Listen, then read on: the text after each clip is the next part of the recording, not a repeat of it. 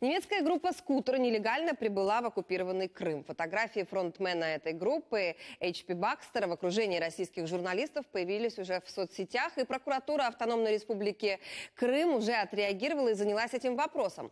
Как сообщили в ведомстве изданию «Цензернет», открыто уголовное производство, и за посещение полуострова музыкантам грозит до 8 лет тюрьмы.